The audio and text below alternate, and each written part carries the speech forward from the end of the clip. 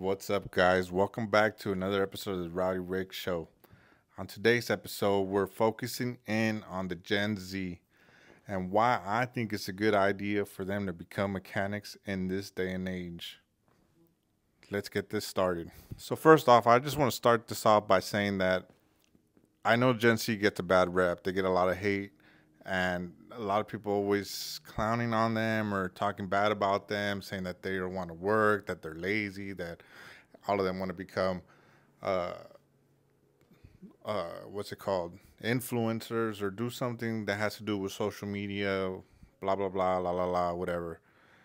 Um, it might be true, it might not be true. I don't really care because I like to judge people on an individual basis. And for the most part, some of the Gen Z people that I've met, they're pretty, pretty cool. Like, I'm not even gonna lie, they're pretty cool, pretty chill. You know, I'm kind of old. I'm like 32. I'm a millennial, you know, but luckily I was growing up in the time when cell phones were coming out. So I remember in, what was it, middle school? Going into high school, we were getting cell phones, and I remember having a new different cell phone every other every other two months or something like that, you know. But I was working at that time. I've been working since I was 13, so I was able to buy my own stuff. My parents didn't buy it for me. But you know what my parents did do? They did give me a job because my parents had businesses. So they would hire us for their businesses and we do work for them. And that's how I got money. That's how I earned money so that I could buy stuff like cell phones and PlayStations and stuff like that when I was young. But I digress. This is about Gen Zs, not me. I'm sorry. I've been noticing a trend these last couple weeks, I guess, more now than ever. Actually, I've been focusing more on why is it so hard for uh, these younger generations to get get a job? And at first, I thought it's like, well, you know, they're probably not really like applying themselves or not really trying to get a job. But I think it's just that they're looking in the wrong places, man. And I don't think it's your fault. You know, maybe mechanics and working on cars is not your first interest, but I think that a lot of us, or a lot of them, it has to also do with uh, their parents, and not in a bad way, because I know your parents always want best for you. Um, but for the most part, I think your parents were always trying to just push you to like, hey, we need you to become a doctor, a lawyer, or a policeman, or fireman, la la la. You know, something, something up there. And a lot of parents ain't really like passing down their interests, like automobiles or uh, trade jobs, as in like construction or plumbing. And so this video is dedicated to you guys and just to try to uh, persuade you or make make maybe make you just a little bit more interested in some type of blue collar type job or a trade trade type job. Let me give you five reasons why I believe Gen Z should uh, become mechanics in the automotive industry or any industry in reality that involves mechanics. So, reason number one: there is a there is a, a national shortage on mechanics right now. They need them everywhere. Every dealership is hiring. A lot of mom and pop shops are hiring. A lot of independent businesses are hiring for mechanics.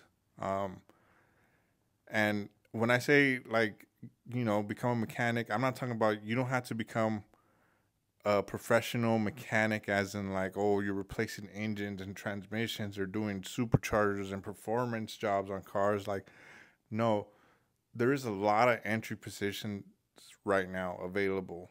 A lot you know, like as in a lube tech, changing people's oils, rotating their tires, easy stuff that you guys could get into, and it pays pretty good. I mean, it, it's going to pay. An entry position is probably going to pay as much as a job at a fast food restaurant, or as a like a barista, or like as a uh, person working at one of those car washes. You know, something like that. It's going to probably pay around the same. Like I'm to say from $18 to 21 to $22 an hour entry position and it's very easy to get to you don't really need a whole lot probably just like a good wrench set you know from like 8 to like i would get a good wrench set from like eight millimeters to up to 24 millimeters, and a couple sockets, a ratchet, you know, just very light tools. I think with like 500 bucks, you guys should be able to get in and get hired anywhere, literally anywhere. They're hiring everywhere.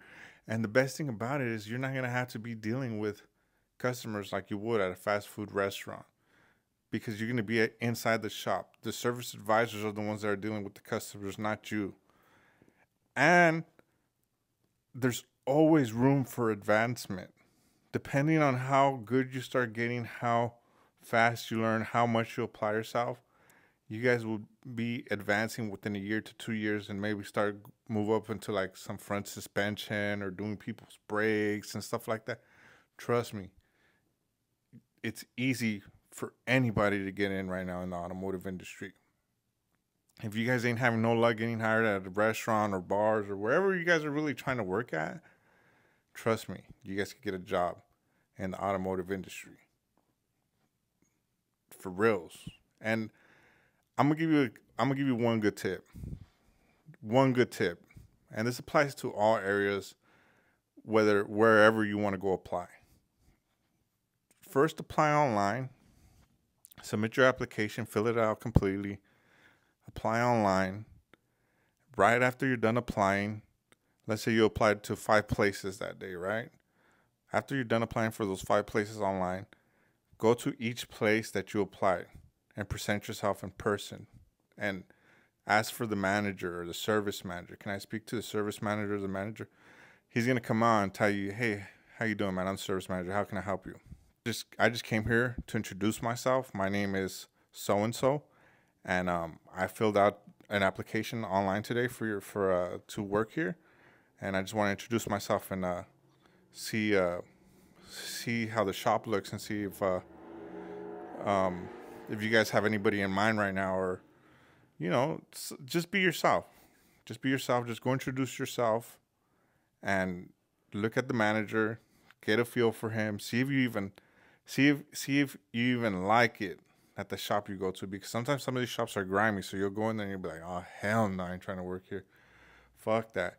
Or sometimes you'll go in there, and the manager's a fucking dick, or and you're like, oh hell no, I ain't working for this fool. You know what I mean? Like some of these some of these places are grimy, so I just be aware uh, be aware of that. You know, I when when I first started my first job at a shop, um, I didn't even have any tools. I had no tools.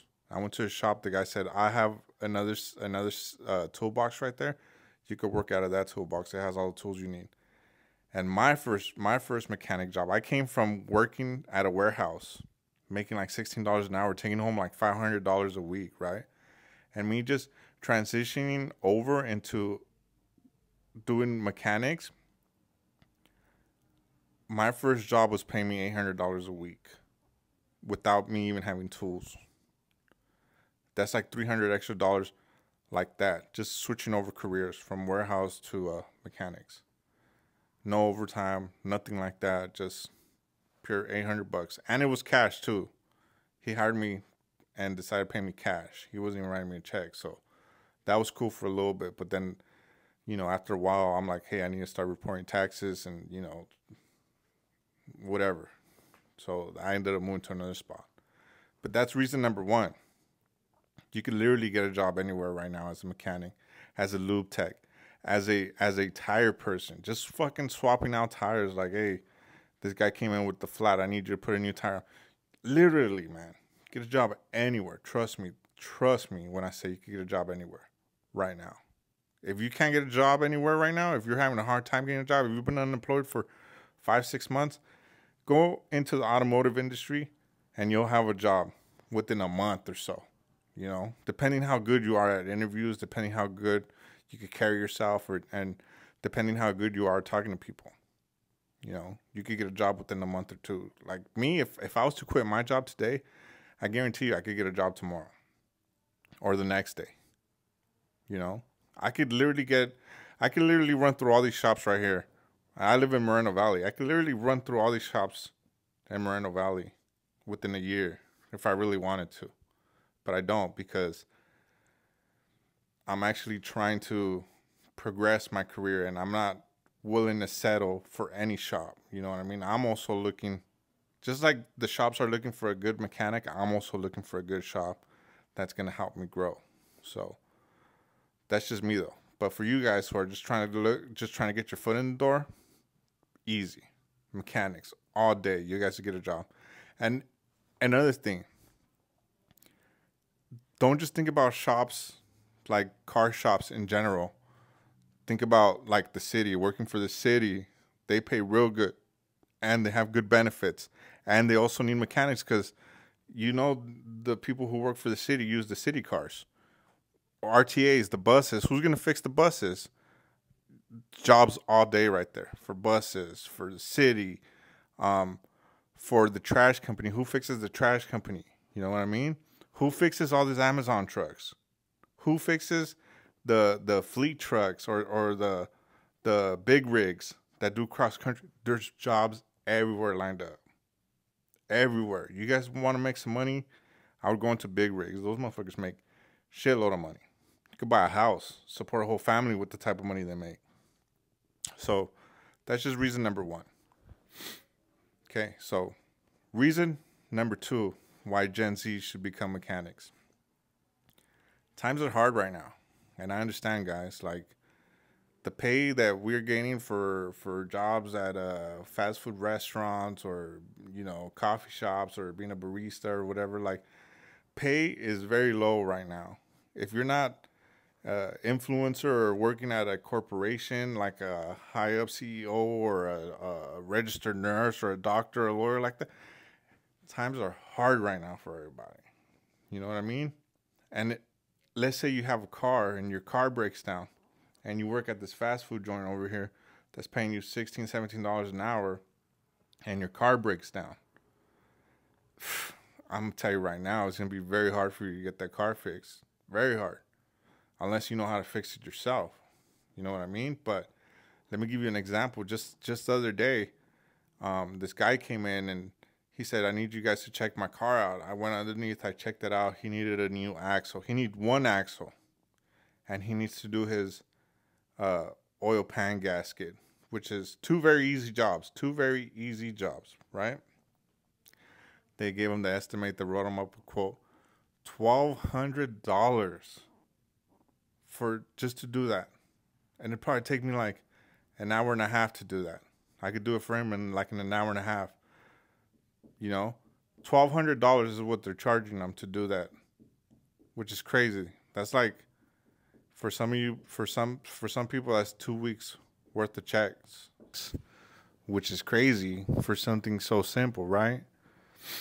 Another example is just uh, look at my videos for the 550i that I've been working on on just parts alone, I spent like three thousand dollars. Now imagine if I would have paid somebody to come and do all that work I did to it. If I paid somebody to do it, it would have been my bill would have came out to like six thousand bucks. It's crazy, man. So it's another reason why um, I think a lot of Gen Z should become mechanics because if you become a mechanic, you could save yourself a lot of money, and you can make a lot of money off of people when you do uh, side works and stuff, and you wouldn't have to charge them ridiculous amounts of money like uh, some of these shops do. You could charge them half the money and still make good money once you develop your skills. You feel me? That's reason number two, and it's a good reason because everything's going up in prices and all the new cars are expensive. People are keeping their old cars more as of now. And uh, these old cars, well, old cars come with a lot of uh, maintenance that has been overlooked and hasn't been done, and it all catches up and it all hits at one point, and you're gonna have to fix all of that. And you could either fix it yourself or you could pay somebody to fix it. You feel me? So that's just reason number two. Reason number three why Gen Zs should also become mechanics. This is another reason. It's a pretty simple reason. Um, as of now, you guys really don't need any schooling or any like a trade school or uh, anything special to become an entry level mechanic. You know, of course, once you become a mechanic, um, I I I urge you to uh, either study on your own. There's a lot of ways you can study. You know, you could buy the ASE books yourself and just read through them and study and take the test. There's a lot of courses online. There's a lot of information on YouTube. But for entry level, you don't need nothing special. You could literally, you just literally need like $500 worth of tool to get in. But like I said, once you're in, if you want to keep advancing this career, because you do shoot up fast. If you really, if you really want, if you really like what you're doing and, and you enjoy this career path and, and you're serious about it and you're passionate about it, you could start off entry level and you'll shoot up fast. I'm telling you, you shoot up fast. It happened to me. I shot up fast. I'm at a point right now where I'm almost I'm almost capped out. As in capped out. I'm capping myself out because I'm almost capped out as an employee because I can only go so far without without all my certifications. You you understand? Like I'm not capped out as in other places. Like if I go into big rigs or or uh, some of these construction um, excavators and stuff like that, being a mechanic for those, they make great money too. But as a mechanic with no certifications, I'm almost tapped out. You know, so I'm studying and trying to learn as much as I can as I go. So see what's the next step. But you will shoot up fast. Trust me on that, guys. You will shoot up fast if you apply yourself. And uh, it's pretty, re- pretty, pretty easy reason, pretty uh, self-explanatory why this is reason number three. Because nowadays they, a lot of these places want you to fucking have a bachelor's and five years of experience to get in, and you're going to be starting at the same wage as a mechanic, most likely. You know what I mean? Experience beats all. So that's just reason number three. Reason number four why Gen Z should become mechanic. Purpose. Sometimes it's hard to uh, know what our purpose is out here, especially when we're working jobs that are kind of mundane and not really you know, doing anything crazy. Like I remember when I used to work at the warehouse, it was kind of pointless to me. Sometimes I'd be like, "Damn, this is pointless. What am I even doing? Like, this is not doing anything for me."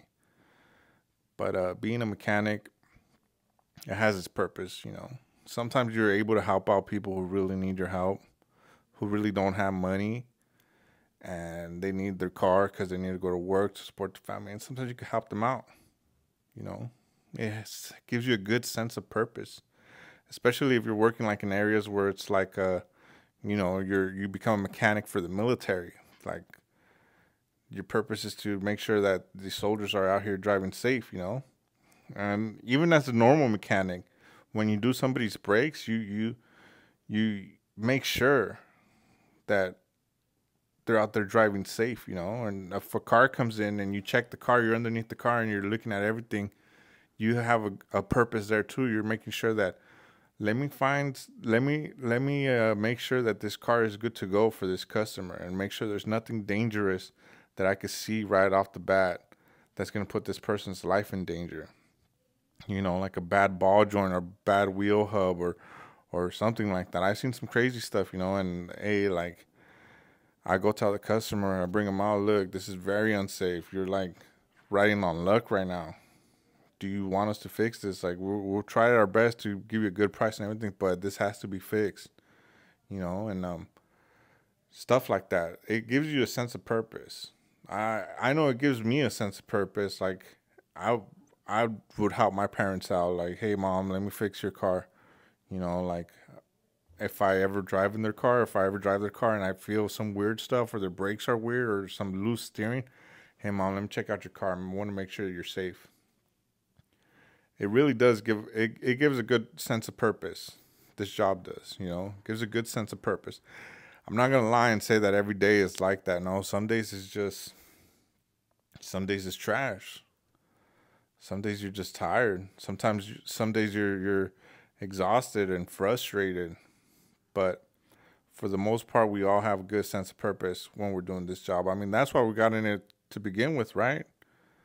We wanted to get in because we wanted to learn because we want to do something with that knowledge that we get from knowing how to work on cars, whether it's building your own car or building your own brand or or uh, having project builds or or doing crazy stuff that no one's done before on cars. You understand?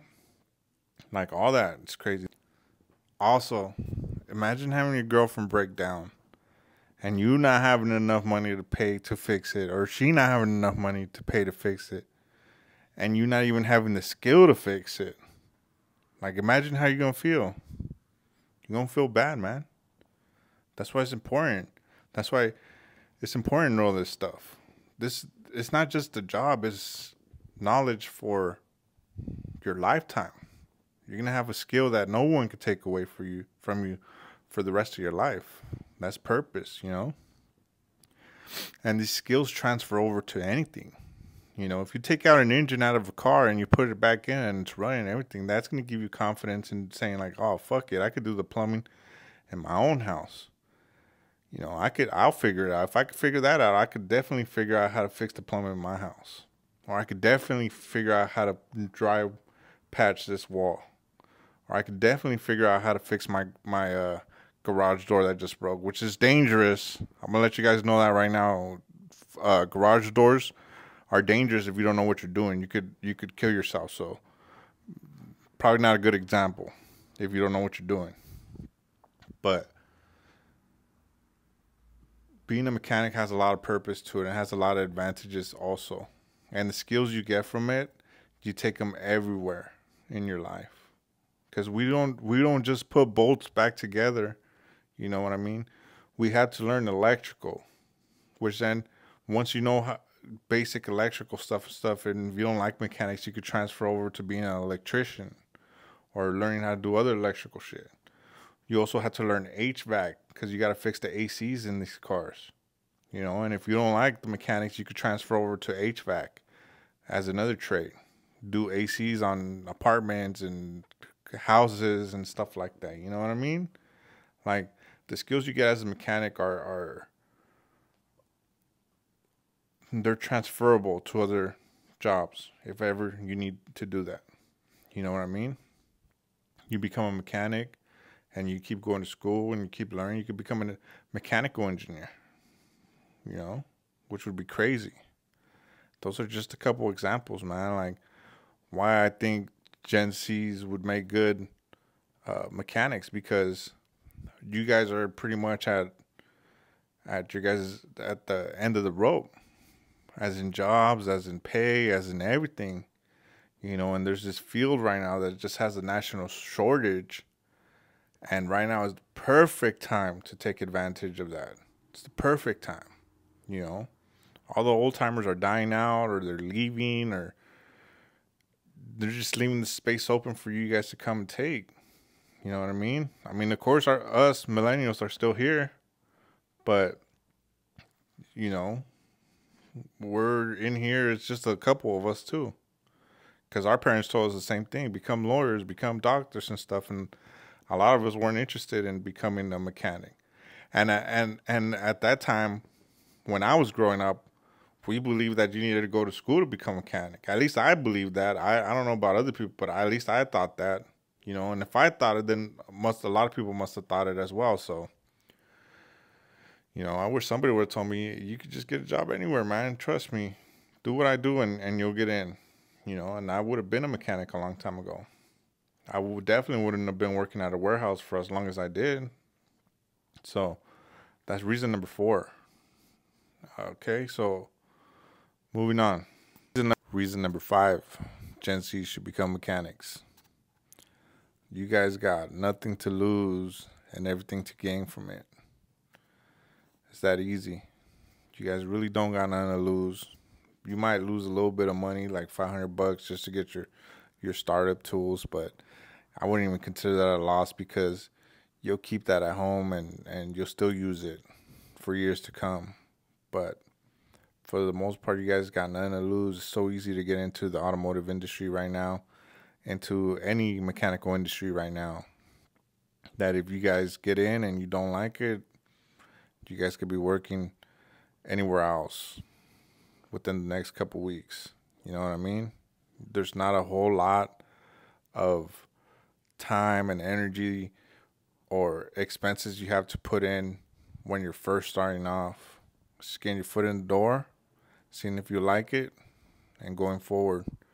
Once you put a year two years or three years in, then yeah, you might have a little bit more to lose because you invested in some better tools, you invested in more tools, and and maybe some some uh, courses or or got your ASE certificates and stuff like that. But even then, you're not really losing because you obtain some skills that you're going to use for the rest of your life.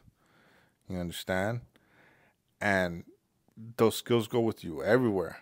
You know, I've been thinking of moving to Texas and I'm already like thinking like fuck it, I can move to Texas and I'll get a job out there as a mechanic. I know for sure they're hiring. The other day, just the other day I saw them hiring in Texas for like $75 an hour for a mechanic. Like sign me up. But I got a couple stuff I got to settle out here first before I could do any of that.